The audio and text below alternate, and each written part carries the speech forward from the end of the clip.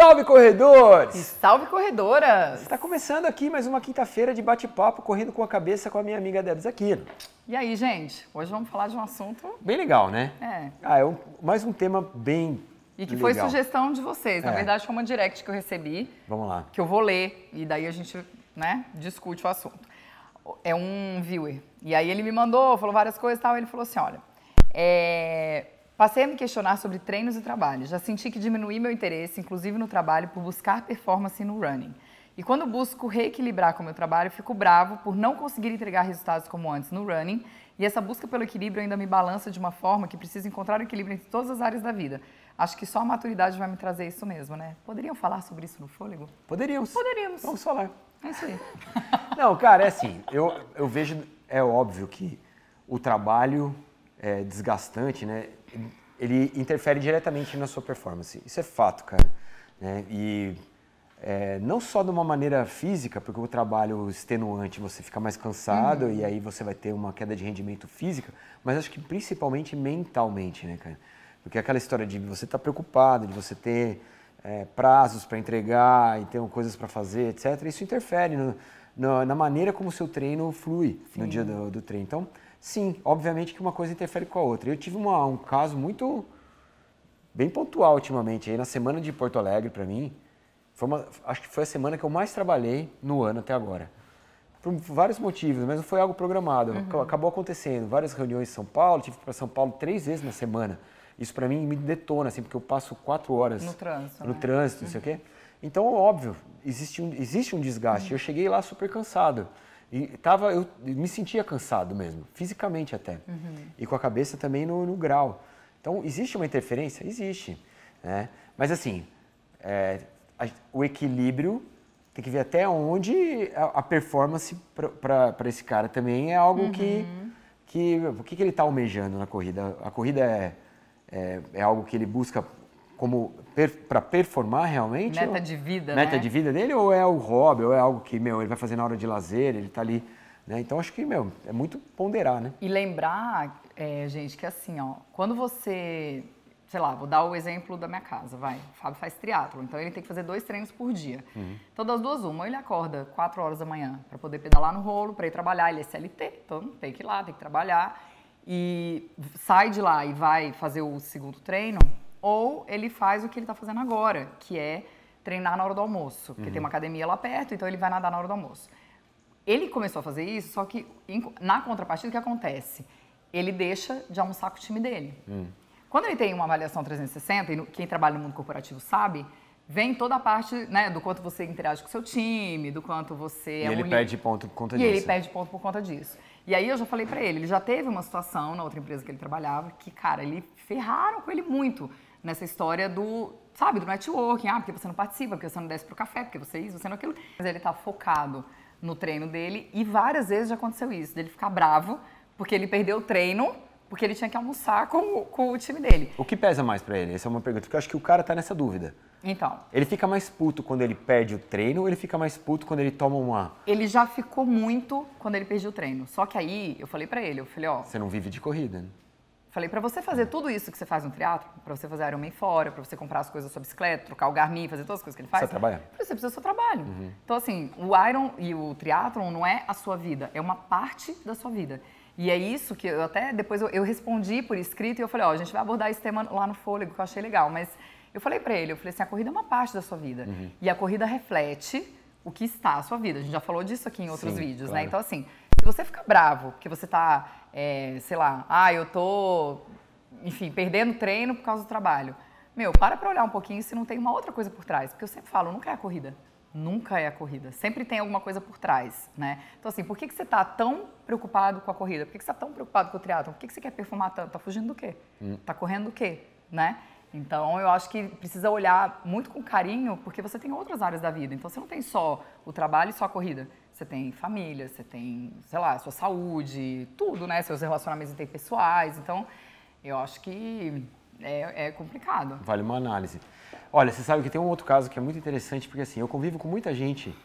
é, de- quando eu vou para provas, coberturas, isso aqui, muita gente se aproxima de mim para contar que está tentando fazer da corrida algo que ela consiga extrair também algo, de, algo, o trabalho. Uhum. Né? Então, assim, eu vejo muito criador de conteúdo querer montar canal, querer fazer uma, um Instagram de corrida, querer fazer alguma coisa dentro da corrida. Por quê? Porque ele é tão envolvido com a corrida e ele gostaria muito de extrair o pão do, de, de cada dia da corrida. Uhum. Né? Por quê? Porque normalmente, cara, você se você tem um trabalho ali que você tem horário para entrar, horário para sair, coisas para entregar, etc., você acaba não tendo Dá para treinar? Dá, lógico que dá para treinar. Mas não dá para, de repente, treinar para uma prova de 100K que o cara quer correr. Não dá para fazer um triatlo, fazer um não Ironman. Dá, é, não dá para pegar né? índice para Kona. Não dá para pegar índice para Kona, para Boston. O cara às vezes não consegue. Treinos longos em vários dias da semana.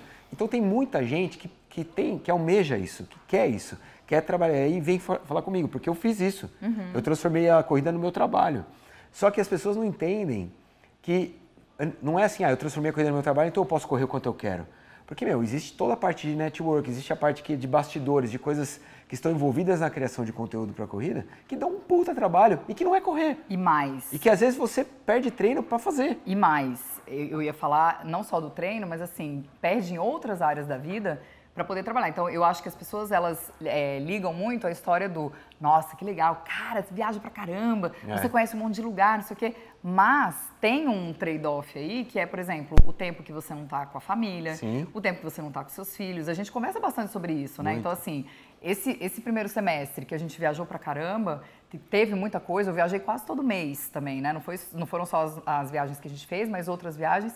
E muita gente fala, nossa, mas como você consegue? Como você deixa tudo e tal? Deve ser legal, mas olha isso. Eu falei, então, eu falei, tem um trade-off. Não é uma vida, sabe, maravilhosa, é. plena, que você viaja. Uhul, olha que legal. Tem muita coisa que você deixa para trás. Não, e, e vamos que... combinar, né, Debs? Você, quanto mais você viaja, menos você treina. Uhum. Então, essa história do, do, de o cara falar assim, pô, você vive da corrida, então para você é fácil. Você vai correr, só, é só correr. Não é.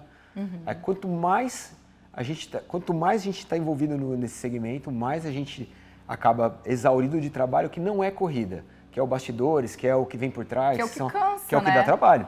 Então, eu acho que isso é uma coisa que é um equilíbrio que, que é natural para todo mundo. Você tem que entender que se você tem objetivos mais é, desafiadores, você vai ter que separar mais tempo da Sim. sua agenda, né? E, meu, como qualquer coisa na vida, quando você está passando por, uma, por, um período em que o trabalho vai te exigir mais, isso vai, vai também refletir no seu, no, no seu rendimento de performance. E acontece com a gente também. Uhum. Né? De, exatamente, exatamente igual. Né? Tem, na semana que eu, que eu tenho reuniões e mais coisas e coisas para fazer, é óbvio que o meu rendimento cai.